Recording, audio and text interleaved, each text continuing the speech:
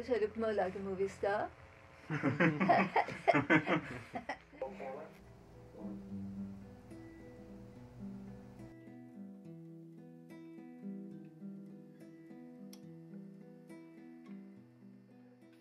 The years have passed. Nobody wanted to talk about it. It still seems that people are not learning from history. No, terrible things going on in the Sudan, and there was Rwanda, there was Serbia. Oh, miserable.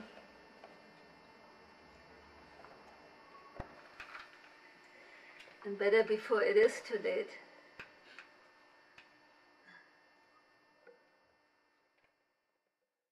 Mm, I'm Margaret Singer. I was born in Frankfurt, Germany, and a long time ago. and starting my story.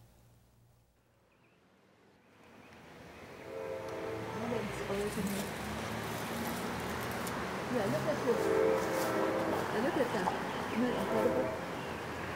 Look at the stem, how it comes down.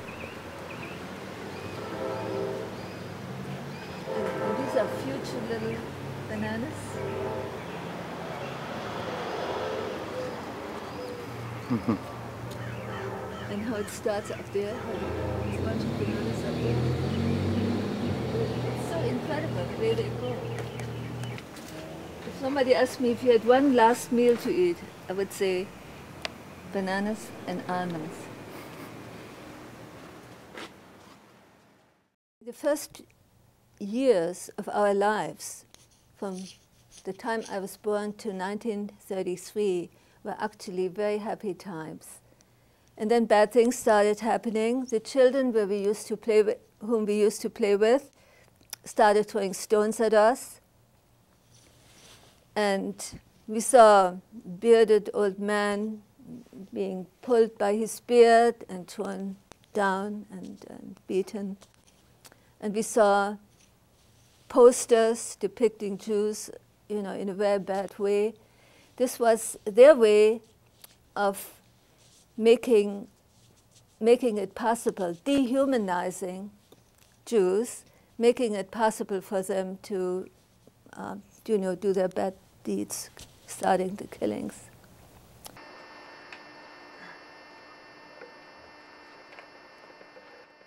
See the little red thing right there? Yeah, Can you see it? It's up in the corner, yeah, okay. in this corner right here. It's kind of difficult to see, but Yeah. What about in, in electric light? I had a letter from my mother in 1943, I think. Nine, no, 19. I had one letter from my mother. And you know, it was very sad because she had a nice warm coat her brother had given her. And she sold that coat just for something to eat. It's very sad. And another thing, she tried to get a job at this children's home where my little brother was. And she said, you know, to wash dishes, to clean, anything, just to be with him. And they wouldn't take her in. And another thing that makes me sad when I think about it is that uh, some of the people, when, you know, when the Nazis came into Paris, she, uh, a lot of people went south, uh, went south to Nice, I mean, to, to southern France, and she tried to get on a bicycle, and she couldn't, so she stayed behind. So these things make me sad when I think about them. She was a very sweet woman, so nourishing. But of course, I only later out found out, and her, her, she lived until June 23rd, 1943, and that was her date.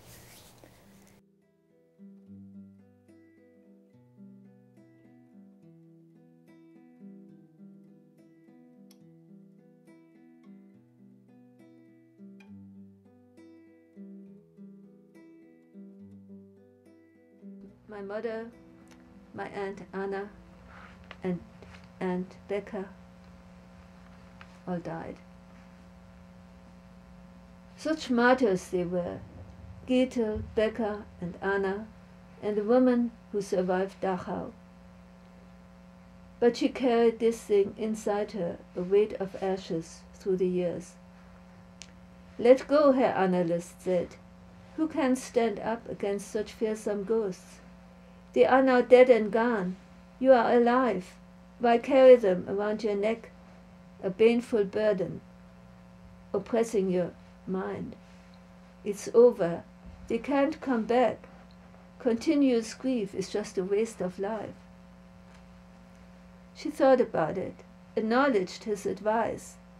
It would be a relief to change, let go, to simply enjoy the days. But then she must hold tight. She could not forget. Her heart was a shrine for the dead.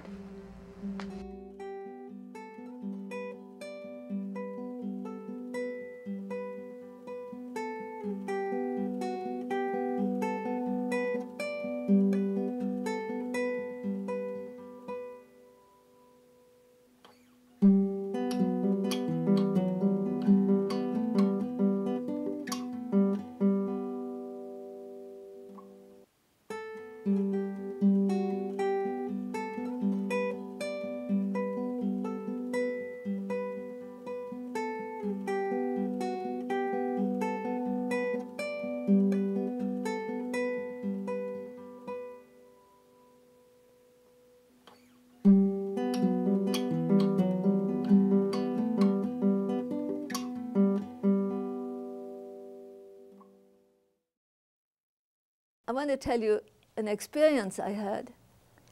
One day I was really desperate. I worked looking for a job. I couldn't, didn't know how to go about it. And I looked and walked, and I was so exhausted, and I was totally um, tired. And I came home, and I lay down on my bed, and I thought I was going to die. And my kind of as if my life were draining away from me. But suddenly, I had this fantastic experience of light flooding through my body. And I felt all my tiredness vanishing, and I felt filled with light and, and joy, actually, bliss. And from then, that time on, I felt that nothing, nothing would actually hurt me or anybody, because I feel that is an experience that all of us have or can have. Uh, to me, that is uh, the presence of God. Yeah. Uh, poetry is also, you know, you go back into your past and then things come to you and you write about them. And it's very helpful, it's very releasing. So I help myself a lot with writing poetry. Poetry, I do it every day. I write every day almost because I love it. And then, then sometimes I sit for hours looking for a word. The place is in disarray. Dishes are not washed. I should do the laundry, but here I sit looking for a word, thinking about a word, the right word to find. So, so poetry is very important. So I go. I like to go from poetry to painting. Yeah, and I always like classes, like Matisse. You know, he was a famous artist, but he always uh, took advice from younger teachers.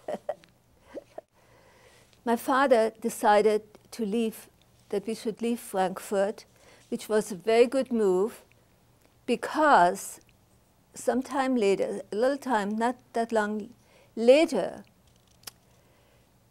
they uh, rounded up all the Jews of Frankfurt into a hall and they were all shipped to Auschwitz.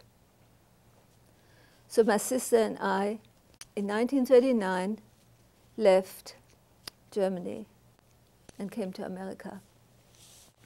And we, we were sick, uh, we were sick um, eight days out of 10, seasick.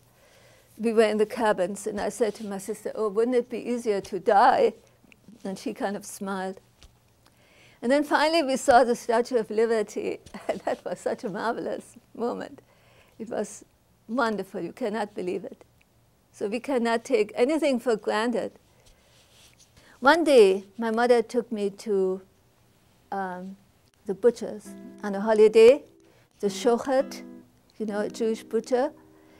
And I saw how a chicken, how he killed a chicken, you know, slit its throat and hung it upside down, and the blood was draining. And when I saw that, I said, never again in my life will I eat meat. That is it. Something in me said, I didn't really say it, something in me said, and I, and I became vegetarian then. And my poor mother, every, every meal we had, everything she cooked, I wouldn't eat. I mean, because it had meat in it. So she didn't think I could survive. So we had often fights about that. My father understood and he, he, he let me be, but she wouldn't let me be. So we had fights. And then one day I hurt my hand in a door and kind of fainted. And they carried me on the bed. And my poor mother, did you see Anne Frank? Anne Frank falls down and hurts herself, and they put her on a bed. And her mother comes and says, Oh, oh, you know. She, and, and the girl turns her head away. And this is what I had done to my poor mother. I turned my head away when she came, you know, crying over me. That was one of the last times I ever saw her.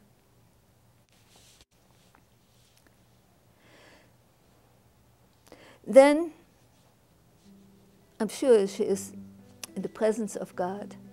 God appreciates beautiful souls like hers.